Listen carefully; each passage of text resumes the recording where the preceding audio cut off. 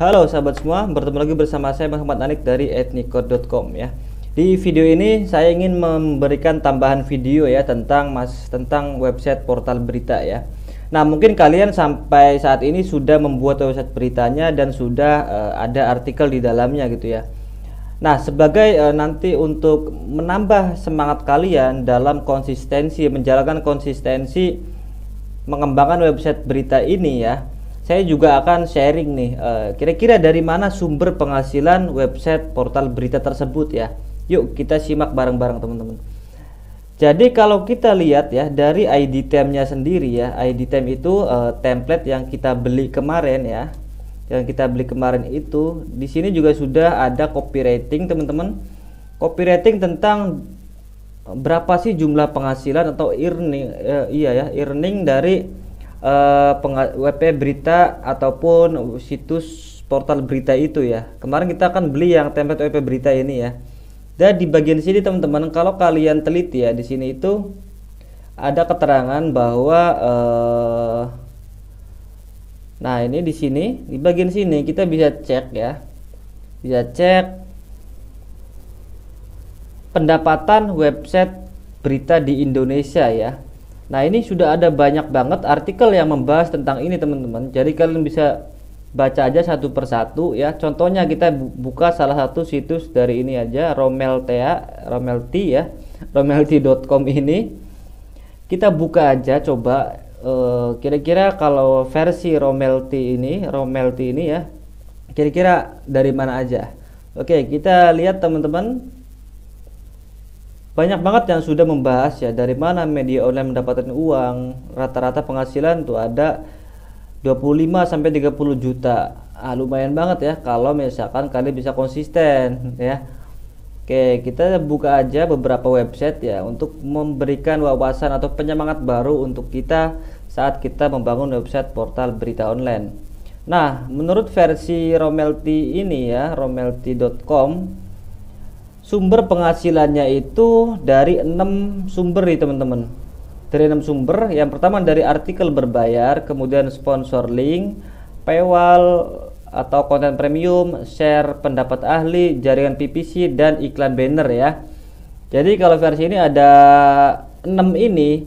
Nah maksud saya uh, tujuan saya berbagi di video ini itu ketika kalian sudah memahami atau mengetahui dari mana saja sumber pendapatannya maka langkah yang kalian lakukan yaitu kalian bisa coba satu persatu sumber-sumber ini.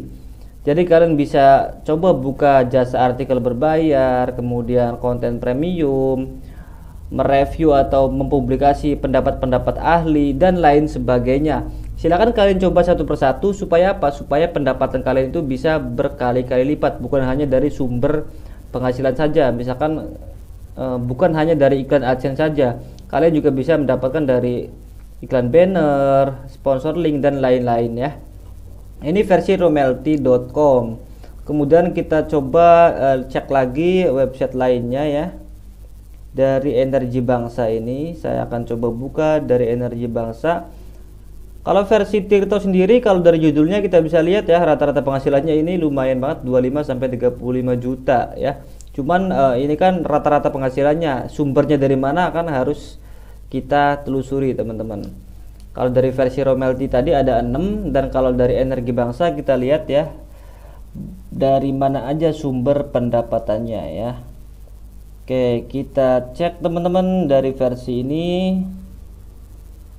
Ini itu ada dari Google Display Ad ya, iklan apa Google AdSense itu. Yang pertama ini kemudian banner dari bannernya juga bisa dari sponsor content creation monetizing dengan community engagement kemudian ada monetizing dengan community insight ada monetizing dengan premium content subscription ya.